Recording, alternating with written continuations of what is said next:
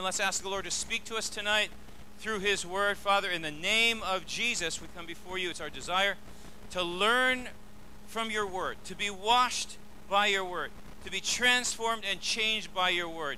Lord, we ask that we would not only be comforted and instructed by it, but Lord, that you would also empower us and equip us to be more effective ministers and teachers for you. In Jesus' name we pray. Everybody said amen? Okay, so we've been talking about the Ten Commandments. We have been dealing with the first commandment, and we have been talking about the background of that first commandment being the ten plagues that the Israelites went through in Egypt. They saw the power, they saw the glory of God. God wanted to demonstrate his ability and re identify himself to his own people. Remember, they had been 400 years in Egypt. They did not grow up knowing the God of Abraham, the God of Isaac, the God of Jacob. So he has to reintroduce his, himself to them and show forth his power. And more importantly, his supremacy over each of the gods that they had learned how to trust. By the way, that's exactly the same thing that the Lord wants to do in your life as your disciple. Slowly, as you come to know Him more, slowly as He is able to, because you allow Him to, impose Himself into your life, you begin to learn that you don't have to trust those things that you did before. You begin to learn that you don't have to trust those habits you had before. All those idols and all those gods that you used to have, that you used to run to for refreshment, you used to run to for comfort, you used to run to for, uh, uh, uh, you know, whatever it, it was that served your need slowly, as you're discipled by the Lord, you find out that He is actually the one who fills every single one of those needs. And He becomes our God in every single respect. And so He winds up doing the same thing in our lives as He did in the case of the children uh, uh of Israel in Egypt. Now, they go through the nine plagues, and they finally come to the last one. This is where we left off last week. Exodus chapter 10, verse 28. The locusts have come. The darkness that could be felt has come. Pharaoh has seen that the God of Moses has command over every single one of these natural things that the gods of Egypt were supposed to be, uh, uh, uh, have power over. And finally, at last, he still refuses to let the people go. He doesn't ardent, ardently refuse. He begins to see and recognize that God is a true God. And so he tries to bargain with him, just as we try to bargain with him sometimes when we recognize, yes, he is a mighty God. Yes, he is a great God, but I still have these desires and I still have these drives and I still want to satisfy myself my own way. And so we try to bargain with him. And how about if I give into this but not give into this? And this part of my life I give you, but that part of my life I'll hold back. And if there's one thing that God tries to impose on his people, and we should take from the lesson that the Israelites go through, it is this Thou shalt have no gods before me. Thou shalt have no Elohim. That which has power in your life, that which has influence in your life, that which has the ability to choose and make decisions in your life, thou shalt have no other gods, no other Elohim. That's what God is trying to show here. Now, Moses tells Pharaoh that he must let God's people go 100% all the way. Pharaoh refuses. And then Pharaoh, he takes a different turn. He's never been like this before. But in Exodus chapter 10, verse 28, Pharaoh looks at Moses and says, Get out of my sight. Make sure you do not appear before me again. The day you see my face, you will die. He threatens to kill Moses if he ever sees him again. Now, this is beyond where Pharaoh has gone before. Now he threatens with death the life of God's prophet. And in response to Pharaoh's threat of God's prophet of death, he pronounces the final, most terrible plague, Exodus chapter 11, verse 5. God says, Every firstborn son in Egypt will die. From the firstborn son of Pharaoh who sits on the throne to the firstborn son of the slave girl who is at her handmill and all the firstborn of the cattle as well. It does not matter. God is not involved in class warfare. Poor, rich, middle, everybody in between, all are going to taste his wrath because Pharaoh has angered him. And you want to introduce death? You want to play death games with me? I mean, you know, this is like you don't want to you don't want to box with God because your arms are, are too short to do that. So Pharaoh brings it on himself. Seemingly, Pharaoh curses himself, his own son, and his kingdom with his pronouncement. Now, question How often is it possible, and if so, how often, do we curse ourselves by how we choose to respond to God and how we treat others and speak to others and the things we do to other people? Pharaoh brings this upon himself. Is it possible, and if so, how is it done, for us to elucidate the same thing? Pharaoh curses himself. Is it possible that we can curse ourselves as well? And the world around us. In, you don't have to turn there, but in 2 Samuel chapter 12, David is dealing with the prophet Nathan. And God has given David everybody's familiar with the story of David and Bathsheba. God has given David a year to come clean. Sometimes people sin a great sin before God. And God, in His mercy, will give them time, will cause things to happen in their life in order to steer their heart and steer their mind towards repentance, to give them a chance to make it right before He, God, has to act. But instead of his heart softening towards the Lord and turning to God in repentance and confessing the sin. Instead, David hardens his heart and actually tells himself, Ha ha, I've gotten away with it. Nobody found out. I've gotten away with it. And then into the throne room comes Nathan. And in 2 Samuel 12 13, in the preceding verses, Nathan tells him a story about a man who takes the sheep of his servant and kills it for his friends, even though he has other sheep. And David says, As surely as I am king, this man shall die this very day. And what does Nathan say to David? Anybody know? Thou art the man. Say that with me. Thou art the man. This is what God this is what God this is what Nathan says to David. Thou art the man. You are the guy who I'm talking about. And David tears his clothes, which is a sign of remorse for a Jew. And in 2 Samuel 12 13, David says to Nathan, I've sinned against the Lord. Nathan replies, The Lord has taken away your sin. You are not going to die. But because by doing this you have made the enemies of the Lord show utter contempt, the son born to you will die. David makes a mistake, and God pronounces a sentence upon him. David sinned with Bathsheba, and now their son was taken. In 2 Samuel chapter 24, verse 10, David, again, the man after God's own heart, is threatened with war. And so rather than trust in God, because God has already told him he's going to have the victory here, he doesn't really believe it. And so he sends his captains and his soldiers out to count the soldiers. Even though God has already said, you're going to have victory, that's not enough for David. It's not enough for David that God has said you're going to win. I want to know how I'm going to win. I want to see it. And so he sends his servants out to count and number the soldiers of Israel. And God gets honked off at this. Why? Because it shows a lack of trust in God's word. And as a result,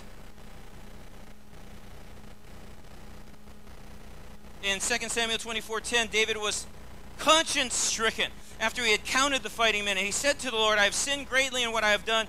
Now, O Lord, I beg you, take away the guilt of your servant. I have done a very foolish thing.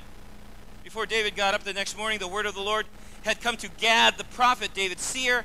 Verse 12 says, Go and tell David this is what the Lord says. I'm going to give you three options. Choose one of them for me to carry out against you. I mean, you would love to have this choice? So, Verse 13 Gad went uh, to David and said to him, Shall there come upon you three years of famine? Three months of fleeing from your enemies while they pursue you? Or three days of plague in your land? Now think it over and decide how I should answer the one who sent me. David said to Gad, I'm in deep distress. Let us fall into the hands of the Lord, for his mercy is great, but do not let me into the fall of the hand do not, do not let me fall into the hands of men. Praise God. Finally, wisdom. So the Lord sent a plague on Israel from that morning until the end of the time designated, and 70,000 men from Dan to Beersheba died. David makes a mistake, causes God's pronouncement. 70,000 people die. In the first case, his son dies because of a mistake he made. In the second case, 70,000 people die. We see this kind of thing happen throughout the Old Testament. Even in the New Testament, in Acts chapter 5, there's a story of Ananias and Sapphira. Everybody's selling all their property to give it to the Lord's, uh, uh, uh, to the apostles, to, to, to, to share with the community. And Ananias comes and says, We sold a piece of property. Here's all the money from the property. Now, look, Ananias did not have to do that. He could have easily said, I sold this property and half of it I am giving to the church. Trust me, if any of you want to sell your property and give half of it to the church, that would be more than enough. Okay? Here's the problem. He kept back some of it, but he tells Peter, this is all of it. And Peter says, You have not lied to me, but you've lied to the Holy Spirit. Ananias croaks, dies, falls on the ground. A little while later, Sapphira, his wife, comes in looking for Ananias. And Peter greets her and asks her, By the way, Sapphira, the money that you gave, was that all of it? Ah, uh, yeah, that was all of it. Really? Well, now the same thing that happened to your husband is going to happen to you, and she dies. Okay? Bad things happen when you cross God sometimes, Old Testament and New. Question Were these people cursed?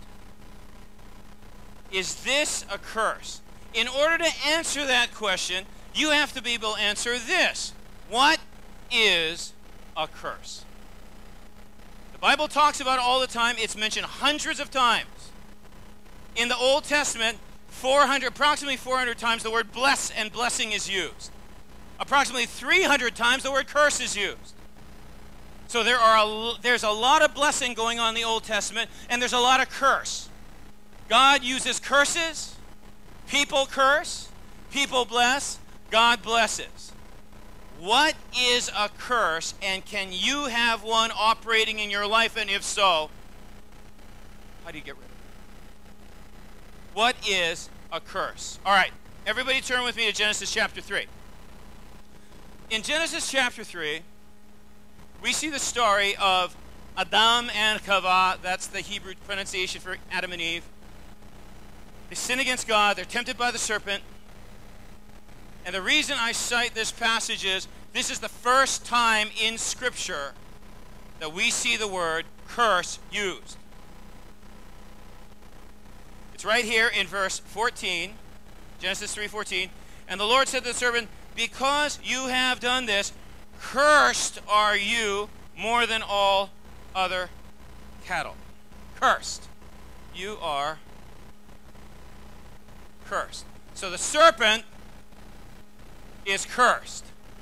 The Hebrew word for cursed here is ah uh, remember this is left to right, so it's kind of arur.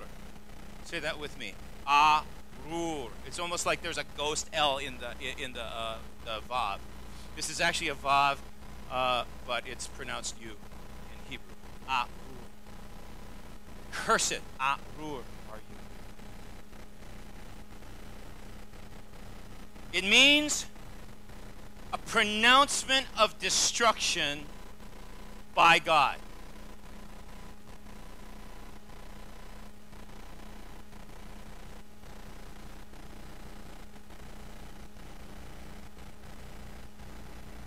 By who? Aleph, by the way, is for Elohim. Every Hebrew letter in many root words actually represent another word. Ah, Arur. Pronouncement of destruction by Elohim. Elohim is now going to use his power. Elohim is now going to use his authority. Elohim is now going to flex and impose himself in a spiritual, intellectual, emotional, and physical way to bring about destruction in a certain way, how he decides to pronounce this is going to be. Arur, pronouncement of destruction, this goes beyond the removal of protection. There can be where God removes his protection, but that is not this. This is the imposition of his power. This is the imposition of his judgment. This is the imposition of his wrath. He's mad about something, he's upset about something. And he is pronouncing destruction as a result of an action that has been taken. In the case of this, the Nachash, the serpent, uh, Nachash is Hebrew for corrupter, the corrupter, he who or that which corrupts. So, in answer to the theological question, do we know it was a snake? Well, I think it was represented by a snake, as we're going to see as he fleshes out this pronouncement, this arur. But all the word nakash means is just he who corrupts or that which corrupts. Nachashim is what they use for like wizard. Uh, for instance, uh, when in, in, Exodus, uh, Jannes and Jambres come and oppose Moses, and he throws down the rod, and it changes into a serpent, and the other, uh, they, the, the other seers, the other uh, warlocks, the other wizards, they throw theirs down. Uh, uh, Pharaoh says, I am not uh, astonished by this because my menachashim can do that. My workers of the occult, my menachashim, it's, it's the same root word as nachash, he who corrupts, can do that. So it goes beyond a removal of protection. Spiritual force is released by Elohim. His Elohistic power is released in a destructive and a negative way. Spiritual forces begin to orchestrate things. And as we can see from the Old Testament, things like health, things like circumstances, situations, finances, all can be affected by the Arur pronouncement, pronouncement of destruction by Elohim. When somebody is cursed by God, when something is cursed by God, God has proclaimed and pronounced that they're guilty of something and has released His authority, activated His authority and His spiritual power to destroy. To, to, to destroy. Physical, mental, emotional, spiritual destruction. The worst, eternal destruction. All these released by the Arur, pronouncement of destruction by God. This word is what we translate as curse. So, what is a curse in essence? A curse is the enactment, I should write that down, the enactment, or actually, I'm going to change it. The activation and pronouncement of destruction by God. Ah. Now, Let's take a look at verse 14. Let's look at this more closely. So the Lord God says to the servant, Lord, Tetragrammaton, Yod He Vav He, Yahweh, Elohim, says to the serpent, the Nakash, because you have done this, you are cursed. You are a Arur. So who is cursed? What is cursed? The serpent. So number one we see, I'm going to use another serpent. You are cursed, he says. The serpent, you, you, you, you are Arur. You are cursed. More than all cattle and more than every beast of the field. And here it comes. Here's the pronouncement. On your belly you shall go. You shall eat dust all the days of your life, and I will put enmity between you and the woman, and between your seed and her seed. He shall bruise your head, and you shall bruise his heel. This is God's pronouncement. This is God's pronouncement of destruction. God has now told the Nakash what is going to happen to him. That's the arur. That's the curse. You are cursed with a curse. He says he's going to curse the serpent. Now he's explaining and expressing what that curse is. To the woman, he says. So first, Arur comes to the serpent. Next, who does the Arur come to? The woman. Chava, Eve. To her, to the woman, he says, I will greatly multiply your sorrow and your conception. How many women would say amen? That happened. I mean, imagine, this is the way God had originally designed it. You, Nancy, were supposed to be able to have Carly just out. I mean, like Enoch, you know, she was and then she was not. Chariot of fire carries her out of there. Instead, there is exactly what God says. Multiplied sorrow and your conception in pain you shall bring forth children.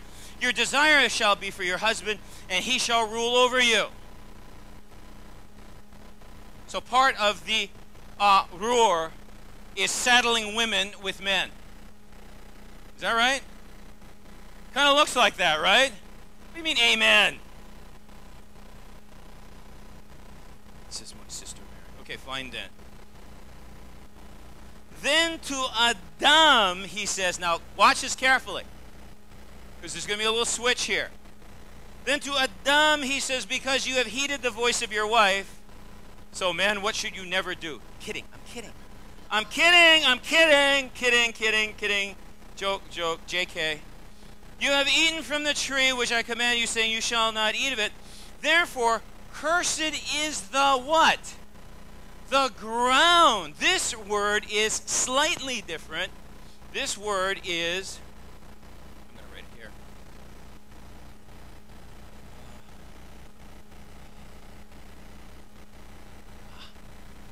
Okay, so again, it says reading right to left.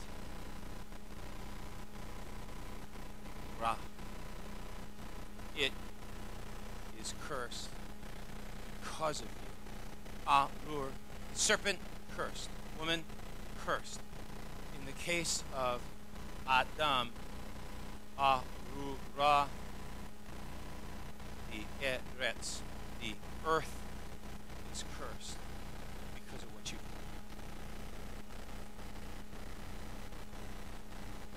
Cursed is the ground for your sake.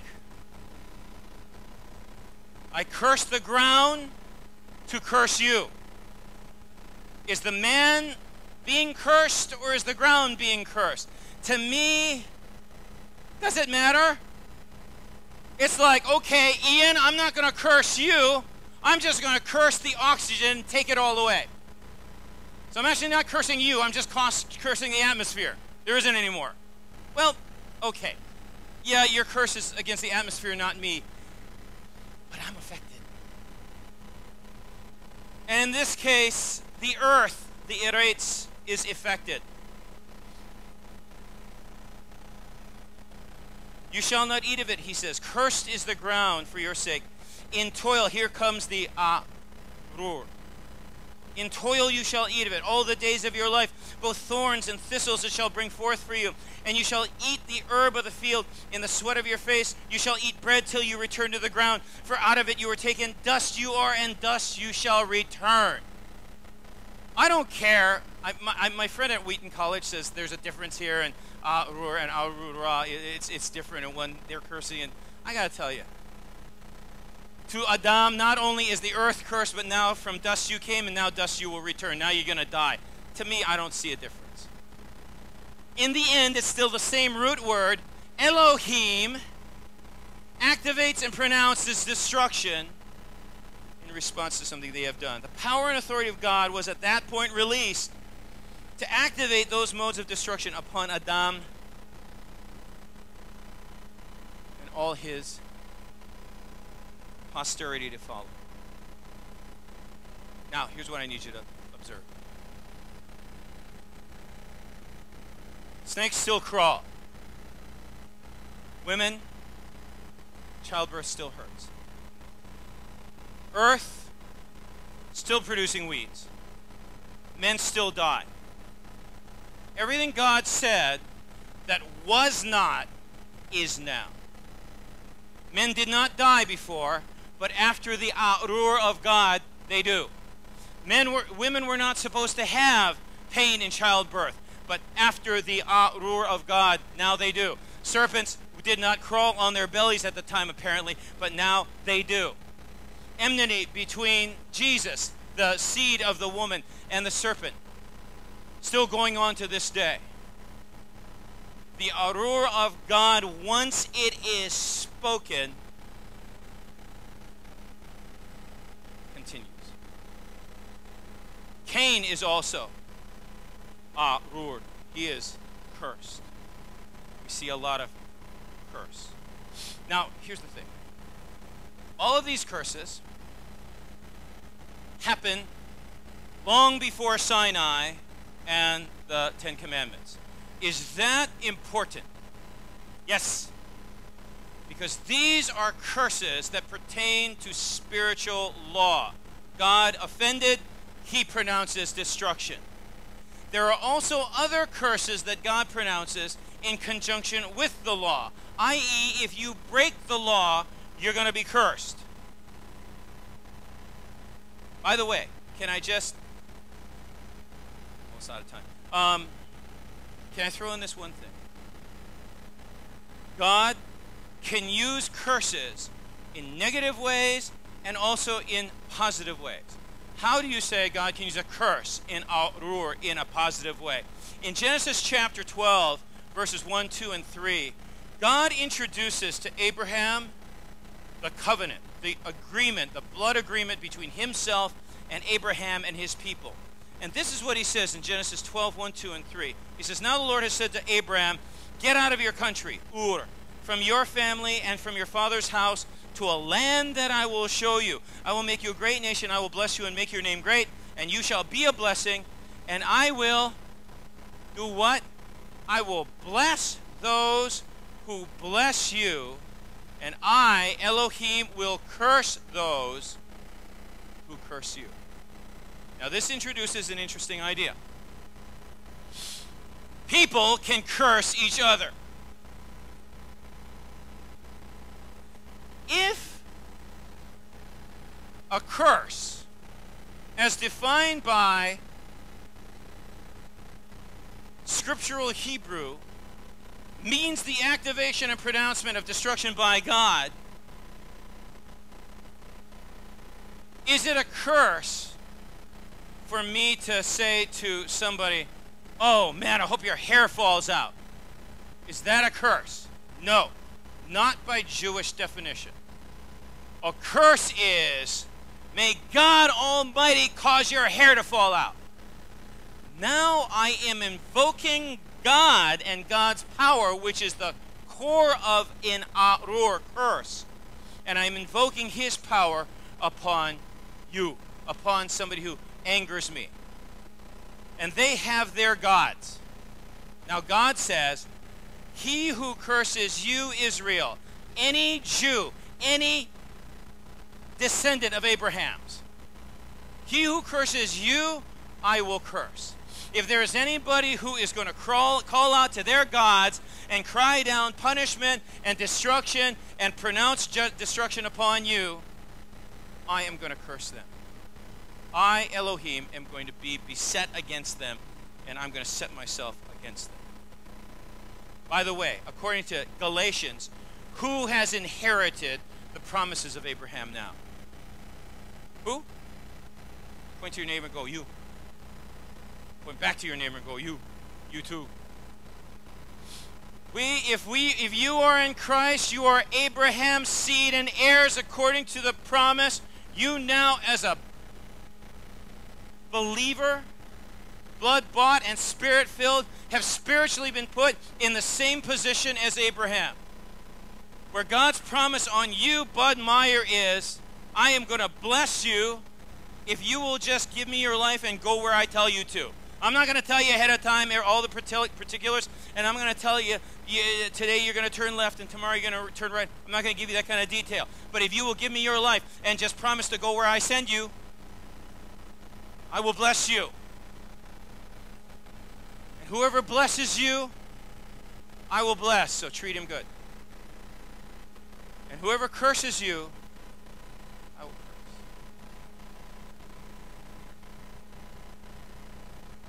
A curse, to summarize tonight, is the activation and pronouncement of destruction by God. And that pronouncement can be made by God or can be made by a representative of God. To the Jews, a curse, arur, was always a pronouncement that engaged and activated the power of God. Why? Two minutes, I'm going to answer that question by asking you to turn with me to Romans chapter 4. Is this interesting to everybody, anybody besides me? This is, this is to help us understand how the power of God and spiritual force works as it is defined by Scripture. I think it's vital to understand this because there is too much uh, shibai is a good word for it being thrown around about curses and i don't know for me it's like it's real simple. These aren't hard words to understand. But because of because people don't understand what a curse is they start all applying all sorts of all sorts of weirdness to it. This is the essence of a curse and a blessing. Romans chapter 4 verse 7 verse 16 let's start with 16 therefore it is of faith that it might be by grace to the end of the promise might be sure to all the seed that's us not to only that which is of the law but also that which is the faith of abraham who is the father of us all as it is written i have made thee father of many nations before him whom he believed even god who quickens the dead that is make dead come back to life and here's the part you need to underline calleth those things which be not as though they were. Let me say that again. Calleth those things which be not as though they were. In short, if God says it will happen, it will happen. Now, you and I, we have studied Genesis chapter 1 and Genesis chapter 2. I don't have time to review it tonight, but what we found is this that God, in essence, when He starts this project, says, Let there be light, and there is light. Separates the light from the darkness. Creates the world, creates the space. In essence, what he does is he manipulates matter, space, and energy. Technically, if you look at the root words of those words in Hebrew, one of them is Aramaic. What we find God does is at the beginning of this project, at the beginning of this season, at the beginning of this dispensation, if you will, God is going to come in, Elohim is going to come in, and I'm going to reorganize all the matter. I'm going to reorganize all the space, and I'm going to reorganize all the energy, and I'm going to reset it, and I'm going to reestablish it all in a new way. According to the Hebrew exegesis, what you would expect to find in geology and archaeology is a combination of very old matter having only been placed in this position for a short time. Because that, in essence, is what Genesis chapter 1 and 2 said. What we find is this that Elohim is a being, eternal, loving, benevolent, that can manipulate space and matter energy as easily as you and I could manipulate a quarter and a dime. If you saw a nickel, a quarter, and a dime on a table, and I asked you to change the order around and make it a nickel, diamond, and quarter instead, how easy would it be for you? God, Elohim, can do that with protons, neutrons, and electrons. He can do that with wavelengths and amplitude and energy. He can do that by folding and compressing and expanding space. If he can do that, he can do this. Call the things that are not as though they are. All God has to do is say it, and it becomes. He says it, and it becomes. This is kind of a window into the nature of God. True theology. That he is someone who, by the force and activation of his voice, can cause things to be manipulated in physical space as well as spiritual. So when God pronounces something. Does he pronounce things as consequence for sin? Yes, many times. If so, is there a curse going on in your life? And if so, how do you handle it? Can I give you a hint? We're going to study this next week more, but I'll give you a hint. Somebody hung on a cross became a curse for us. The curse of the law the curse of the power of God may fall on him. You have no idea what he has done. Next week, Wednesday. Let's pray. Father, in Jesus' name, Lord, we thank you so much. And we praise you, God, for your word. We praise you, God, for your mind. We thank you and worship you, God, for your love and your mercy and grace upon us. We ask you, Father, in Jesus' name, just as we can kind of perceive what's coming, to receive our thanks and our praise and our, and our glory to you for what you have done in removing the curse from us. In Jesus' name we pray. Everybody said amen. Well, thank you for coming. I'll see you Sunday morning. Um, what time?